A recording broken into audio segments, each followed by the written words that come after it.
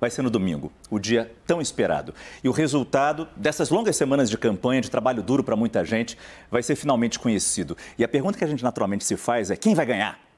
Mas ela não deveria ser a única. Deveríamos perguntar ainda como vamos sair dessa? Haverá paz depois de uma disputa tão acirrada? A divisão está muito clara. A gente vê em casa, na rua, no trabalho, na escola entre as crianças, como a Raquel nos lembrou aqui um dia.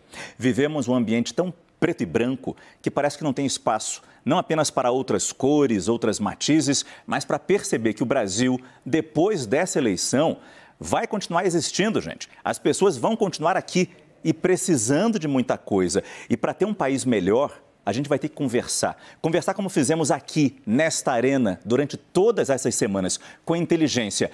Algumas caneladas também, é verdade, mas ouvindo, questionando, aprendendo, sugerindo, cobrando resultados.